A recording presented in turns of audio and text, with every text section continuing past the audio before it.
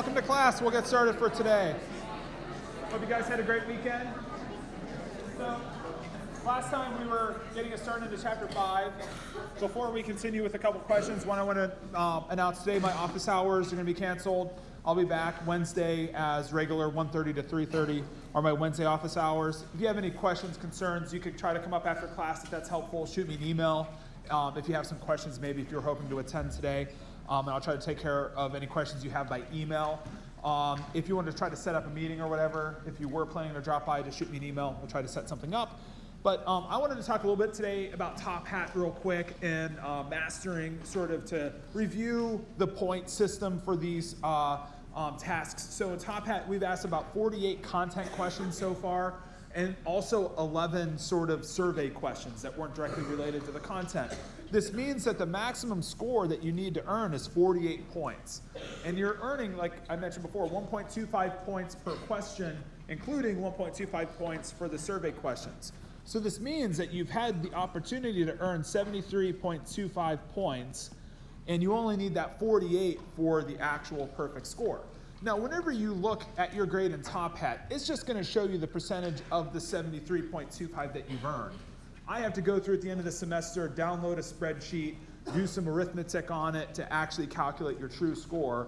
But your true score, you can calculate it just by taking however many points that you have earned and then divide by 48.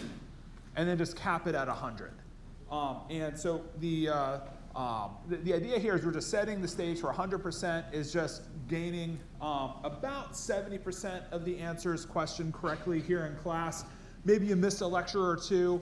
Um, you can see that missing a few questions here and there, missing a lecture or two is not going to have a devastating or even a negative impact on your grade. You can still easily end up with a 100% score. Um, and if I had to take a guess, there's probably 95% of the class who have earned at least 48 points. You know, and there's really a, only a small percentage of the class who miss most lectures. I, I mentioned this before. If you do have to miss class because you're sick, but you're, you're like well enough that you can follow the lecture notes from home, you can actually open up Top Hat from home and still log in and see the questions as they're, they're coming up. Um, I think it's better to come to class, of course, but if you're sick or if you're on the road, if you're traveling, if you're on an athletic team or something and this is useful to you, at least you have that option available. More so you can keep up with the material than necessarily getting the points, because I think you can see here that you can withstand missing a few points and end up with that perfect score. Uh, mastering, just to give you an update on mastering, it's uh, 97 points of what you need to have earned uh, through tonight's homework set for a perfect score. Um, we had all those dynamic study modules, those uh, chemistry topics that were available before midterm one. If you've done some of those, it's possible you've gone above 100%. Even some of the homeworks have a small bonus if you answer some weird like hint or something. I think you get a small bonus. Or there's some way where on some of the assignments you can actually earn above 100% by like a tiny little bit. So you may have over 100% on your homework, but again, the maximum score is 100%. The key here is you can earn some credit back on your homework score if you've lost any points through those dynamic study modules. Their main due dates are before the midterm. So the next set of due dates is Tuesday before uh, midterm two. There's another batch before midterm three, and there's a batch a little bit earlier for the final, but we'll talk about that when we get closer about how there's a date we need all of our points in for mastering at the end of the semester. So last thing I'll say today is you could look your score up on uh, Carmen. I did something funny yesterday that I quickly undid, so you may have seen your score change briefly yesterday. Don't worry about that if you did. I was trying to come up with a way for Carmen to show you this arithmetic that I've shown here of taking 5%, that's the value of recitations, the value of top hats 5%, the value of the homework 7.5%, labs are 20%, and all the exams together are 62.5% of your grade. The way Carmen's doing it right now is they're just taking midterm one times 10%. 10%. So all the weights are properly in Carmen, but it's just like discounting midterm two, three, and the final and Carmen is just doing this math times like 10% and then dividing by however many percentage points have been asked. So like the grade in Carmen is possibly inflating your grade a little bit because it's not truly weighting your midterm one score versus all the exam points. If you calculate your grade this way, in particular if your score midterm one wasn't hot, this is going to show you a number you probably don't want to see, but it's just a reminder that that's where uh, your grade would be heading if you get the same score midterm two, three, in the final. It's just a reminder of like how we need to do good on exams more than we need to do good on these things. So like you could get a great homework score, that's fine, but we really need to get good, get great exam scores to get a good grade in the class because that's where 62.5% of the points are earned in the course. So just kind of a reminder of how you might check your grade um, if you wanted to see this kind of information today, but also to get some reassurance that if you are missing a couple questions in lecture, not to stress about it. Um, so first question for today, let me see where we're at. With this one.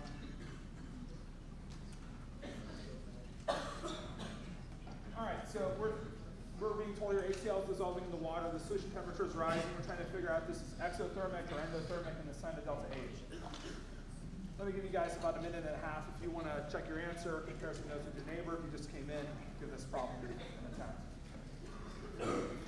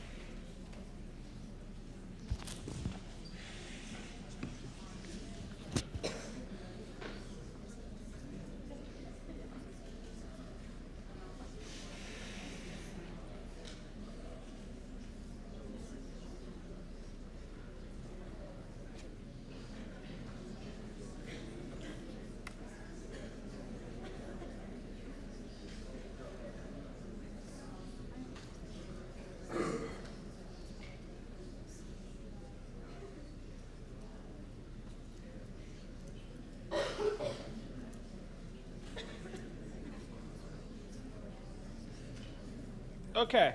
Um, it is the, the 53% group is the right answer. So let's take a look at this one and see where we veered off. There's an easy misconception here, and it's easy to get lost in the temperature. Remember how we said before, you can never really track the temperature of the reaction. You know, the reaction is just HCl and water were there, now it's HCl dissolved ions. So it's kind of hard to even like imagine touching what used to be there compared to what is there now. The only thing you can really be in contact with is the surroundings. The surroundings of this reaction is the solution it's taking place in, the container of the reaction. If everything touching the reaction is increasing in temperature, that means that the surroundings heat, the surroundings heat's increasing. And we might remember that our Q reaction is the negative of the Q of the surroundings. So if the surroundings are gaining heat, then it must mean that the reaction's losing heat. The reaction's giving heat off that heat given off from the reaction is being absorbed by the solution, allowing it to increase in temperature. So think of your reaction, perhaps your A goes to B, as A is up on top in terms of enthalpy, we're losing enthalpy down to B. And that doesn't make the temperature drop, that makes the temperature increase because the reaction's losing energy, so the energy lost is being given to the surroundings. Okay, so the reaction loses heat. Um, that's the meaning of an exothermic reaction. So if delta H is negative, implies that the reaction lost heat. And then that implies that our Q reaction, um, so delta H is equal to the Q of our reaction. Sometimes you write QP, sometimes I like to write Q reaction. It's just the heat change of the chemical reaction that's occurring. And that that heat change is negative. So the reaction's losing heat, the surrounding's gaining the heat for this type of reaction. Okay, so if we had the opposite, if we had an endothermic reaction taking place, an endothermic reaction has to absorb heat to occur. The heat of the reaction is going up, but that heat has to come from somewhere. That heat would come from the surroundings. So if you find that the temperature of the surroundings is dropping as the temperature is going down, then that implies that you have the endothermic reaction in the case where the reaction is absorbing heat. So we have to kind of remember that if a reaction absorbs heat, it's taking it from the surroundings. So if you touch the reaction, you feel your heat going away, you feel cold. Likewise, if the reaction is giving heat off, you get the heat, you feel the heat, you feel, in the case of the temperature going up, in the case of it feeling warmer. Okay, let's problem here and maybe come back to um, a discussion of open versus closed systems. We were talking about this a little bit last time. So uh, an open system, we found that the delta H is equal to Q. For a closed system, it could have a change in work take place due to like a pressure volume change. And then for uh, like a closed chemical system, we were finding that the work would be somewhat negligible if there was a change in work during the reaction. But if we have the case where gas is being absorbed or given off by a reaction, we can sort of look at that gas and sort of have that be our guiding um, sort of light to see if the gas is being given off from a reaction. It's like pushing into the walls of the container. If you have a gas being given off, then that's the reaction working on the container. That's like the reaction heating up the surroundings. So that would have a negative W associated with it. If you have a gas being absorbed into a reaction, then that would have the opposite effect. That would be the, the sort of surroundings working on the reaction, working on the system, and have the positive sign of W. Kind of like the same sign if the surroundings were heating the reaction, if you will, or giving their heat to the reaction to increase its enthalpy. So just kind of trying to show us the sort of how we might think of the sign of W compared to Q, how it kind of follows the same lingo. If the reaction gives heat, gives work, both of them have a negative sign. If the reaction accepts heat, absorbs heat, absorbs work, absorbs gas inward, then both of those signs would be positive. So consider the reaction taking place here. Um, see if you can write it out and figure out which of those two cases is going on here.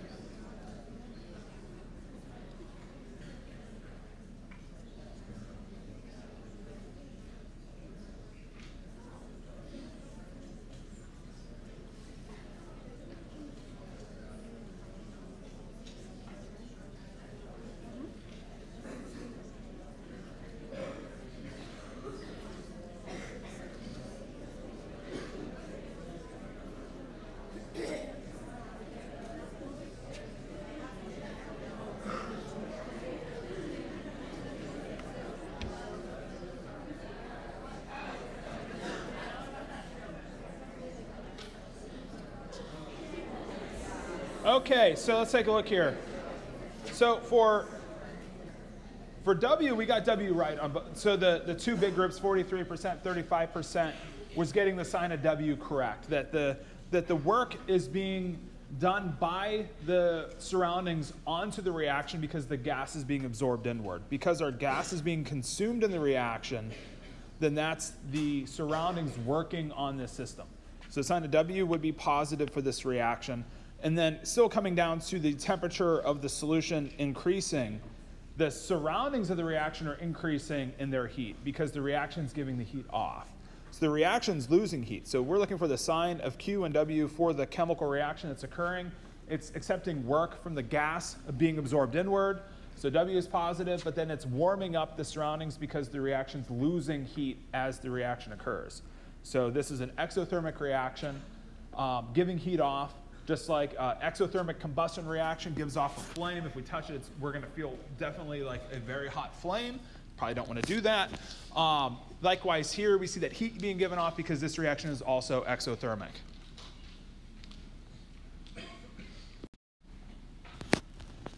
Okay, now let's look at actual quantities here of, you know, like let's look at a reaction where we have a given delta H. We were talking about this at the end of class last time, how our delta H is relating the quantities of reactants. We have two moles of hydrogen peroxide decomposing to water and O2.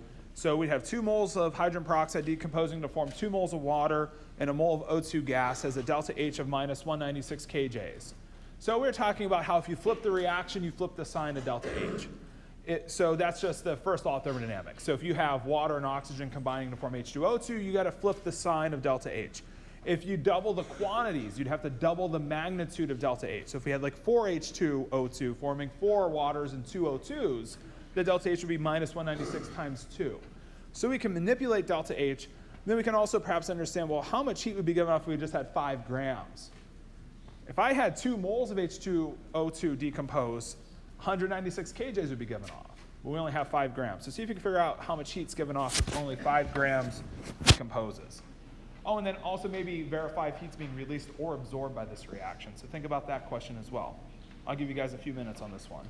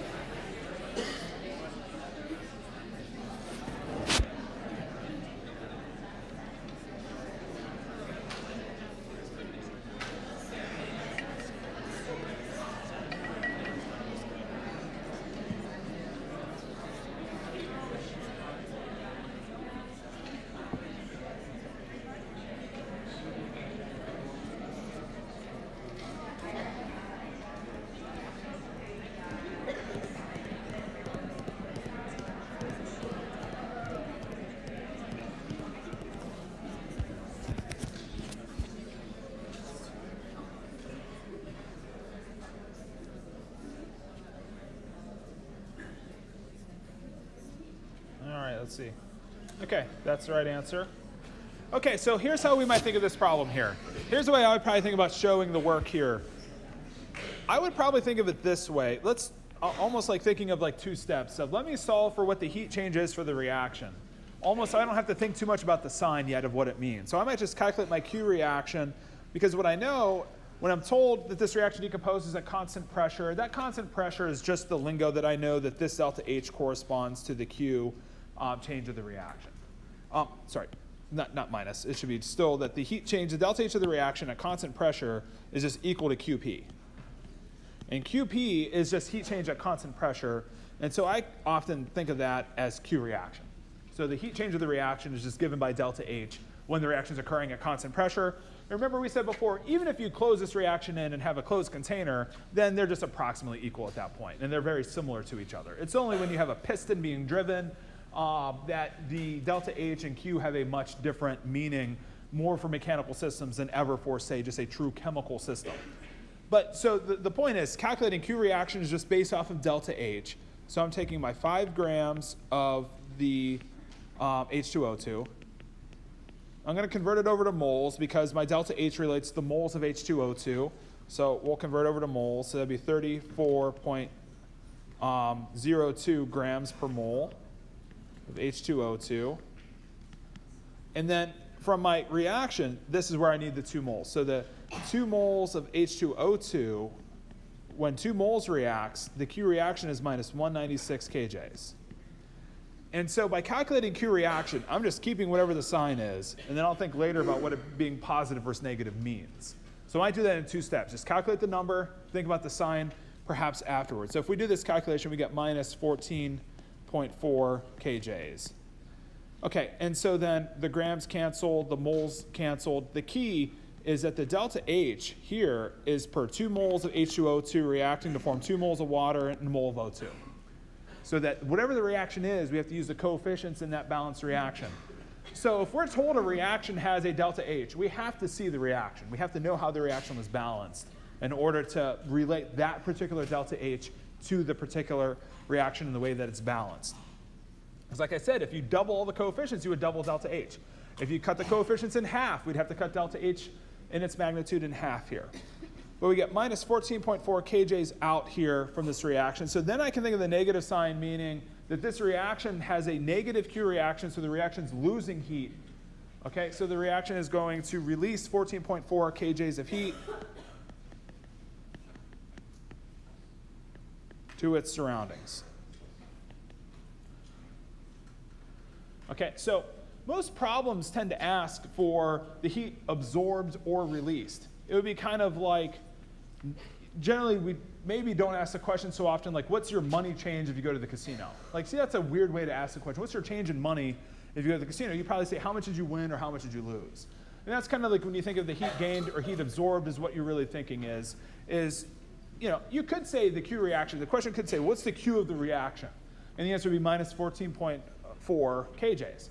But I think it's easier to think of did the reaction absorb heat or did it lose heat? Did you win money or lose money? So keep the sign of heat usually positive, just a matter of where is it going to and from. So the heat's going from the reaction to the surroundings. So if you were doing this reaction in water, the temperature of the surroundings should increase because it's getting the heat given off from this particular chemical reaction. So remember, we'll see this in the problems we'll be solving later today of the calorimetry problems that the Q of the reaction is always a negative the Q of the surroundings. That this is just a fundamental relationship. The reaction's losing heat, the surroundings gaining it. If the reaction's absorbing heat, the surroundings is losing the heat to the reaction. So helps us hopefully trying to keep track where's the heat coming from, where's it going to in the problem. Okay, so section 5.4 deals with enthalpies of reaction. We've been talking about these problems um, in, in, these bullet points here, so we'll just do a quick review. Delta H is extensive. What that means is if you have A goes to B, and you know delta H is, say, 25 kJs, if you double A, so you have 2A goes to 2B, then the delta H would double to 50. So that uh, delta H is an extensive property, depends on the quantity of A and B in the reaction. And so if you think of the delta H per mole, So think of it this way. So it's 25 kJs per one mole of A from my first reaction. And then for my second reaction, it would be 50 kJs, but now per two moles of A. So the ratio of heat change to moles is the same. So the kJs per mole works out to be equivalent when we think of using this delta H as a ratio. So the key is whenever you have, say, a reaction given like the second one here, that if we're going to use 50 kJs, it's per ratio of 2A forming 2B, and the 2 being 2 moles. So the coefficients here are assumed to be moles. Then obviously, if if you flip the reaction, if you have B goes to A, we're keeping with this example, then the delta H would be negative 25 kJs. So you flip the sign. If you flip the reaction, and then if you had B and A, let's say these are gaseous particles, if you had B goes to A now as a liquid, that you should expect that reaction to have a different um, value for delta H. So delta H depends on the physical states of the substances, and that's because there's just enthalpy associated with going from solid to liquid to gas. So there's enthalpy change for substances to undergo melting and boiling. And we can understand and almost like review just for any substance that's going from a solid to a liquid state that's undergoing a melting or a liquid that's undergoing vaporization. Can you consider what the delta H value should be for melting? Should it be positive or negative? What do you guys think?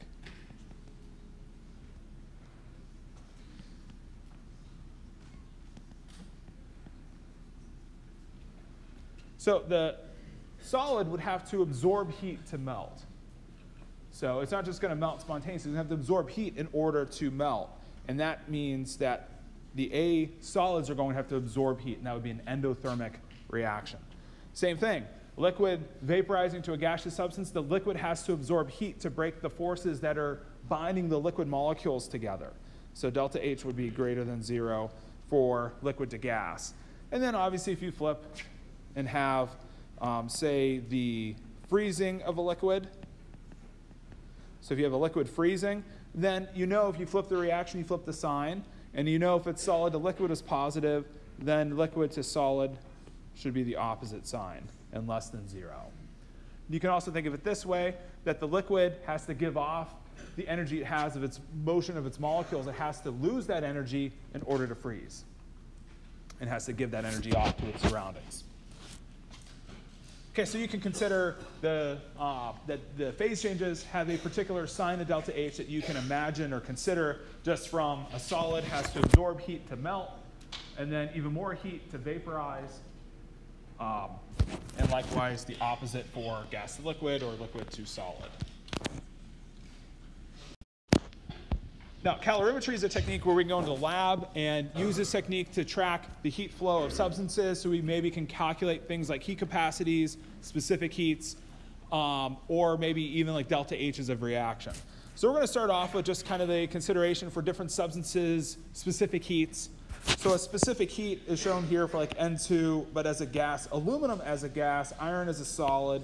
Um, so the um, we also see here like water, liquid. So water's uh, specific heat is 4.18. I wish I would put this extra 4 here because it's exactly 4.184 joules per gram Kelvin. And that ends up being the conversion over to the calorie scale. So the, the scale of energy sometimes that you use is that one calorie is equal to 4.184 joules. That's an exact conversion. Where the calorie is just sort of defined as the heat it takes to raise liquid water's heat by one degree C. So one gram of water by one degree C.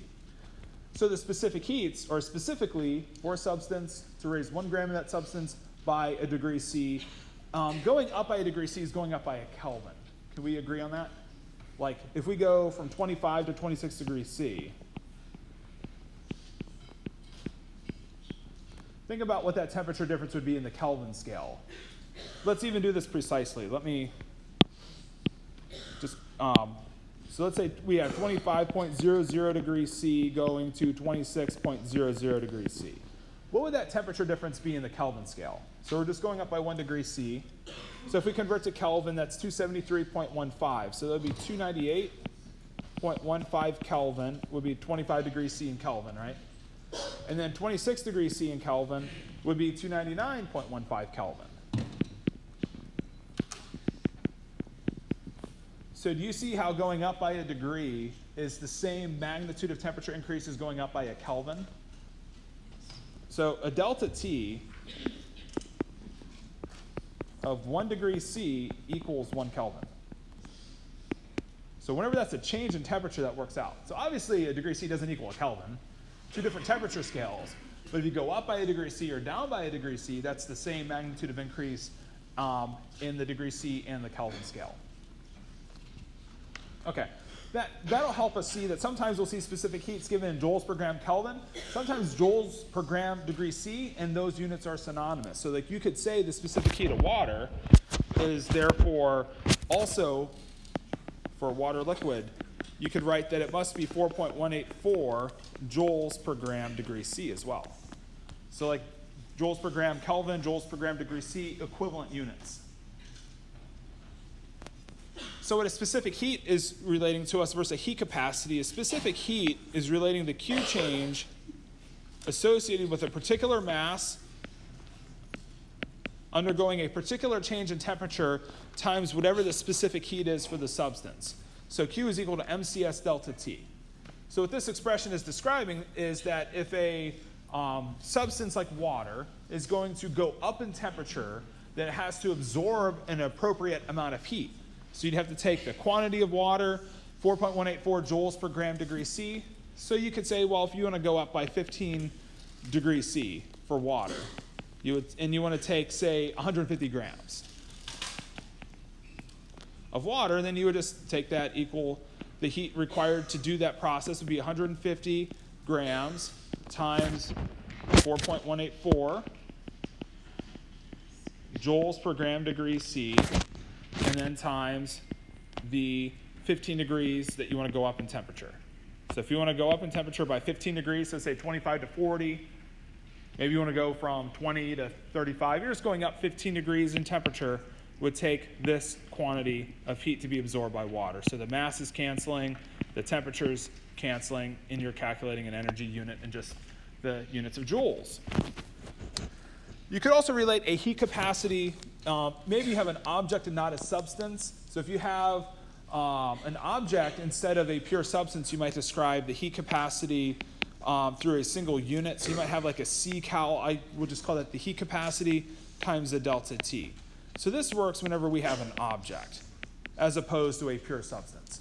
This will come up later. So when we get to, it probably won't come up until uh, um, Wednesday's lecture, when we solve a problem like the bomb calorimetry problem, we'll, we'll, discuss how the bomb calorimeter itself is kind of one single object and is often described as having a single heat capacity term. But we'll see that problem when we get to it a little bit later within this particular section. So one of the things that we see is different substances have different specific heats. So specific heats are specific to a substance, specific to a physical state as well. And then um, you can even compare a little bit like say iron Notice how the specific heat of iron is lower. What does that mean for iron? Well, if you have a cast iron skillet that has, say, an approximate mass that's the same as a pot of water, the water is going to have to absorb more heat to heat up. So you put the cast iron skillet on the stove, it heats up in like 30 seconds to a minute, it's red hot, ready to go. You put the same mass but of water in a pot and heat it up, it's going to take a lot longer to boil. It's going to take a lot longer to become um, not even as hot as that iron's getting. So it's going to take water more time because it's going to have to absorb more heat in order to warm up. Okay, now some types of problems that you can answer with this or address with this are that if you have, say, a hot piece of iron, let's say iron's at 100 degrees C, you add it to 100 grams of water. So you just have 10 grams of iron, and we, we know that iron has that smaller heat capacity, so it may have taken iron less heat to, to heat up, but it's also going to like give less heat off as it cools down. So you put this hot piece of iron into um, 10 times the amount of water, so we have 100 grams of water at 25 degrees C in an isolated system. So you might be thinking, okay, if we put um, if we put a lot, we put 10 grams of iron into 100 grams of water, the iron's hot, the water's not. Is the water going to go up by a lot or just by a little? Probably just by a little, because the iron doesn't have as much heat to give off because it didn't have to absorb that much heat in order to warm up in the first place. So we're doing this in an isolated system. This just means we're not going to lose heat to the surroundings. So imagine all the heat that iron has to lose goes into this water that it's being placed into. What is the final temperature of the water and the iron once they thermally equilibrate? That just simply means once they arrive at having the same temperature. Um, and so then you can use the specific heats. I'll just note them here that the CS is from the chart 0.45 joules per gram degree C or Kelvin. And then water, the CS was the 4.184 joules per gram degree C. And then the last thing I'll point out before I kind of like give you guys a chance to try to solve this problem is that what we're kind of doing here is relating the heat of iron to the heat of water. How are they related to each other? Like iron's losing heat in this particular problem because it's cooling down. Water should be warming up because it's accepting the heat being given off by the iron. So our relationship here, it turns out I, I can put the negative sign wherever I want to put it. So putting the negative sign in front of iron's Q or water's Q means mathematically the exact same because we're just saying that the heat of the one is the opposite of the heat change of the other. So all the heat lost by iron is being gained by water in this particular example. Now by putting the minus sign in front of water doesn't imply that the Q of water is negative. It just implies that whatever the heat change of water is, it's the negative of the sign of that of iron. Okay, so iron should be losing heat. Think of iron here, it should be dropping in heat, and the Q of water should be gaining the heat. But again, we're just going to put a minus sign in. And then we can use the minus sign and track and maybe just use our Q from our specific heats and use the MCS delta T for iron equal to the negative MCS delta T for water. And then the last thing I might point out is that delta T is just, of course, the final temperature minus the initial. So water and iron here have different initial temperatures, but they should end at the exact same final temperature as each other. So they start at different TIs. Iron starts at 100, water starts at 25, but they end at exactly the same TF. That's when they equilibrate with each other, when they have the same final temperature. Okay, a little bit algebraically tricky, but see if you can set up the problem, either solve it algebraically, look at the choices, find a way to figure out which of the choices is the correct answer. I'll give you guys a few minutes to work on this one.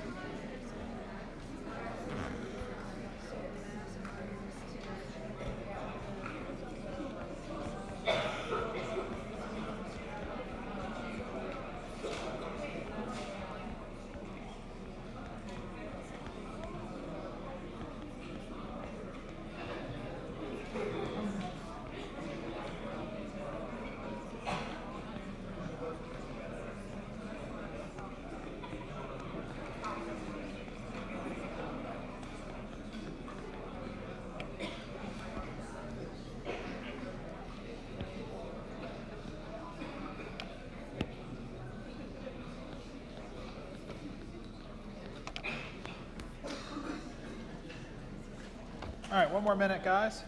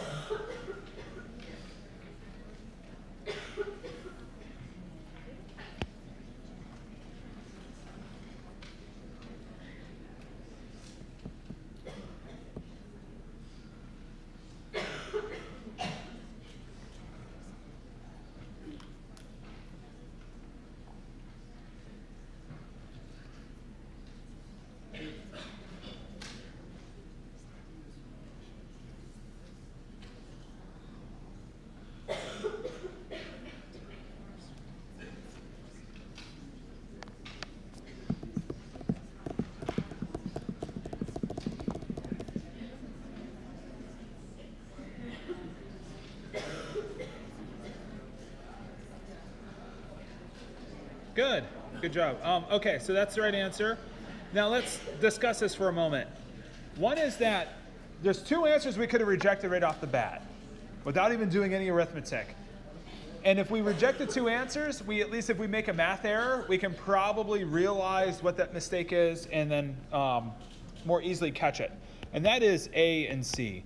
The reason why A and C would be impossible, if you have water at 25 and you're adding something hot to it, you can't drop in temperature.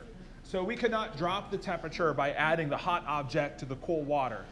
The, if you were confused by the word isolated system, an isolated system is one that's not exchanging mass or energy with its surroundings. So it means that all the energy is being given off by the iron and it's containing and staying in the water. So none of it's being lost to the surroundings of this particular reaction. Now, answer E, I think, is kind of like unlikely. I think it just looks a little too big, so you might be kind of weary that E was right if you were just like gauging the choices. So, uh, because we're at a point where you could have just plugged in your two TFs, or maybe three that you've narrowed down to, and see which one kind of is closest to the right answer, or solve the algebra. You know, because it's just a relatively trick algebra problem where we have to do some factoring. Um, if you want to see what it simplified down to, I had 4.5 TF minus 450 degrees C equals um, minus 418.4 TF minus 1,460. And so then that's just by factoring the two terms into the parentheses and then solving or getting us closer to being able to solve for TF. So if the algebra is getting you here, it is just algebra, but there's shortcuts around the algebra on a test that that is something that you're getting caught up by. So just think if this is a test question, figure out a way to get the right answer. No matter how you're going to do it, I'm sure you can figure out a way, whether you solve for TF directly or using some um, exam approach. Oh, yes, that is right.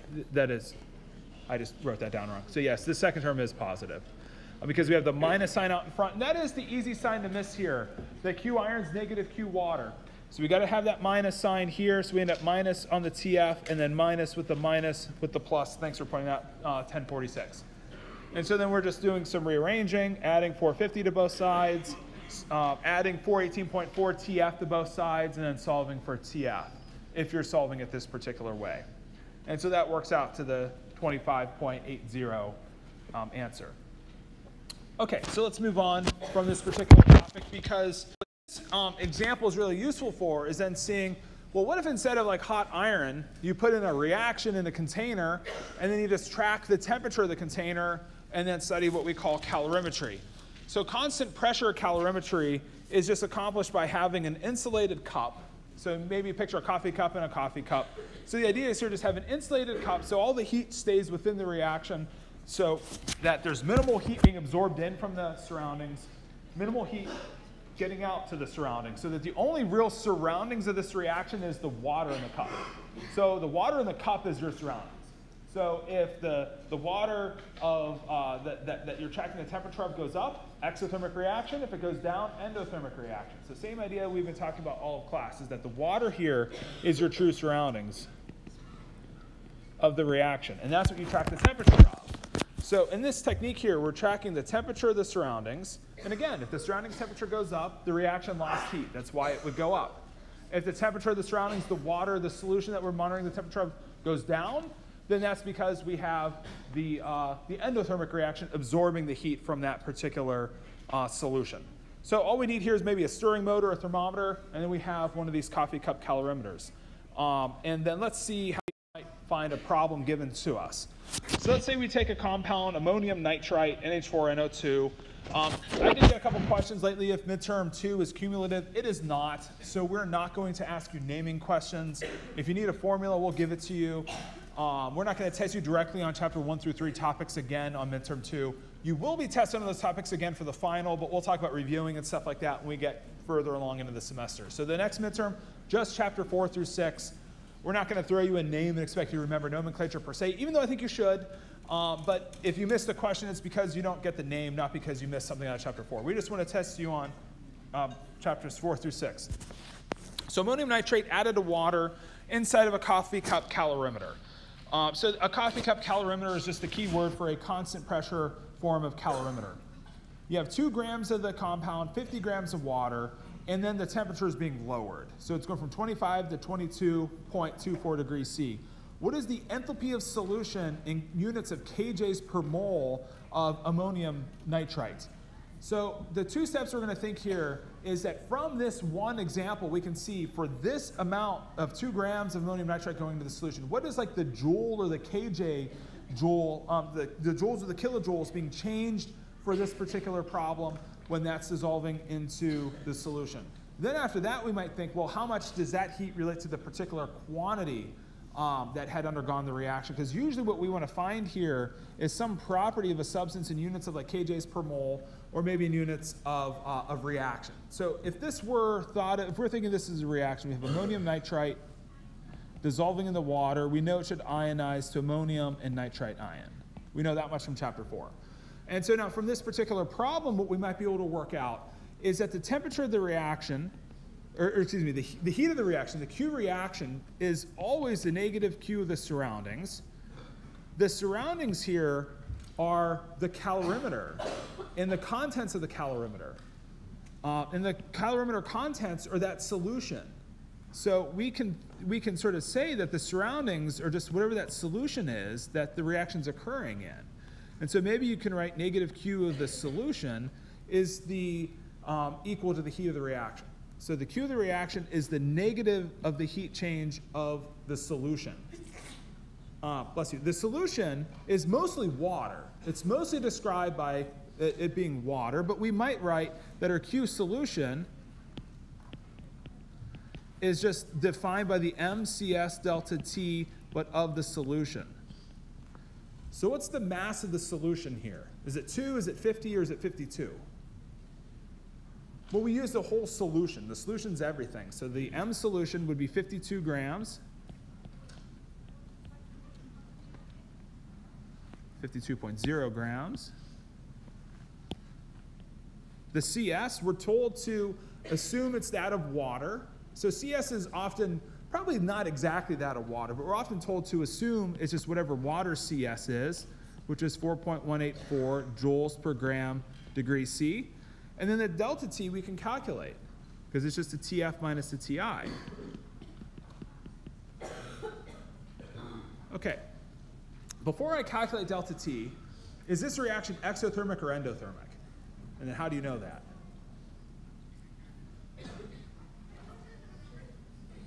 This is like the most crucial part because we can eliminate some answers if we get this right at this point. Is it exo or is it endo? It is endothermic. It's endothermic because the reaction must be absorbing heat because the solution is losing the heat. Okay, the solution's temperature is dropping. Remember, you're not tracking the temperature of the reaction, it's always the surroundings that you're tracking the temperature of. So the water surrounding this react reaction um, has lost some of its heat because it was taken by the reaction because it's endothermic. Should have a positive delta H. So delta H of this solution process should be greater than zero. So I can already eliminate two of my choices. Okay, now our TF minus our TI, uh, final temperature 22.24 minus 25.0 um. And then we can calculate our Q solution. Now remember the Q reaction is the negative of that change. So the solution, the Q of the solution, the solution's losing heat because it's dropping in temperature because the reaction is absorbing that heat. So this all works out to be a negative quantity. Let me work that out real quick. We won't throw this to you in top hat since we're getting close to the end of class. We'll go 52 times 4.184 times the quantity of the temperature difference, so that would be 2.76, and negative, so that comes out to be negative 600.5 joules. Okay, now why is the answer not minus 600, or why is it not even plus 600? Well, a Q reaction is a negative of this, So the Q reaction would be positive, um, but then what you have to consider is, well, what is the reaction that's actually occurring? It's not the reaction of a whole mole, it's only the reaction of two grams of the ammonium nitrite dissolving. So if we want to calculate the delta H in units of kJs, because that's what we're asking the problem, kJs per mole, we have to take the plus 600 kJs, or 600 Js, it's not even in kJs yet, take the 600 joules that that's the ratio of heat for two grams of the ammonium nitrite that's reacting. And we just got to do a gram to mole conversion. All we got to do is multiply by the number of grams per mole of ammonium nitrite. And then maybe convert over to kJs, 1,000 joules in a kJ. So we go from joules per gram, grams to moles, we get the delta H for the solution process in units of kJs per mole. We've eliminated the answer down to two choices. We know now it's not 600, so the answer has to be C. So you can plug the math in and solve for it if you wish later, but it should work out to be answer C here. So that's uh, an example of a coffee cup calorimetry problem. We'll see another example next time of a slightly different form of calorimetry. All right, guys, that's all for today. Have a great afternoon.